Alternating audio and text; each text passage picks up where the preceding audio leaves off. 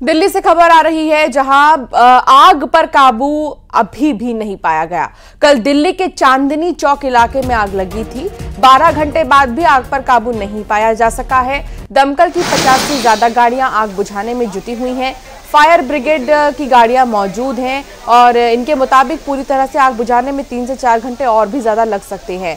अब जानते हैं कि दिल्ली का चांदनी चौक कितना कंजस्टेड है और सबसे पुराना इलाका राजधानी का संकरी गलिया है यहाँ पर और कई तार आपस में उलझे हुए, जो कि पूरी तरीके से ये दिखाते हैं कि आखिर दिल्ली कैसी है, जो काफ़ी हौच पौच और इस तरीके की चीज़ें आपको चांदनी चौक में नज़र आएँगी।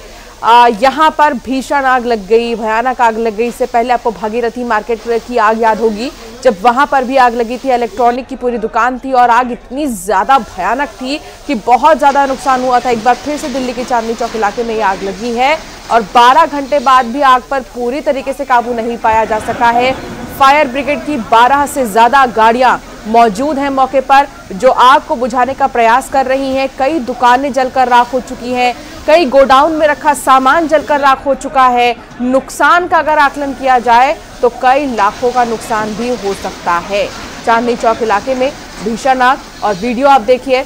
जितना ज़्यादा इस आग ने अपना विकराल रूप दिखाया है, उतना ही नुकसान हुआ है। पानी के फवारे खूब छोड़े गए बावजूद इसके अब भी आग पर काबू पूरी तरीके से नहीं काबू पाया जा सका है। चांदनी चौक के इलाके में। चांदनी चौक में आग लगने की घटनाएँ अक्सर सामने आती हैं और गर्मी के मौसम में तो खासकर। इससे पहले भागीरथी मार्केट में भी आग लगी थी। इलेक्ट्रॉनिक की कई दुकानें जलकर राख हो गई थी, कई गोडाउन जलकर राख हो गए थे और अब एक बार फिर से इसी इलाके में चांदनी चौक में ही आग लगने की घटना सामने आई है। जानमाल को लेकर अभी कोई जानकारी नहीं है कि जानमाल का कितना नुकसान हुआ है लेकिन आ, अगर कहें कि सामान का तो काफ़ी ज़्यादा नुकसान का आकलन जो है वो किया जा रहा है। और साथ ही कई दुकानें जो एक दूसरे से लगी हुई थी वो भी जलकर राख हो चुकी हैं। फायर ब्रिगेड की कई गाड़ियाँ मौके पर मौजूद हैं जो कि आग को बुझाने के प्रयास में जुटी हुई हैं।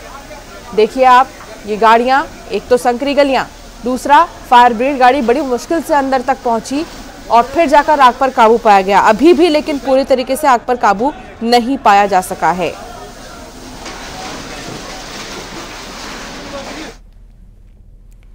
उमरिया के बांधवगढ़ टाइगर रिज़र्व में आग लग गई और आग की सूचना मिलते ही